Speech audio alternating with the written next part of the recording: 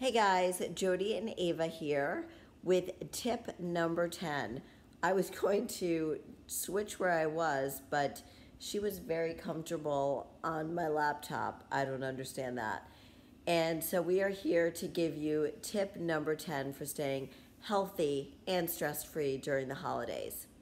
Don't start a diet now. Whatever I can tell you, don't start a diet now. It will cause you so much stress in your life.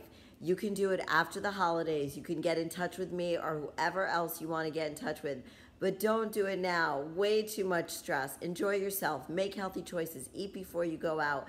Don't drink sugary drinks. Try to get in enough water and sleep enough. Okay? It's stressful enough. Don't put that stress on you.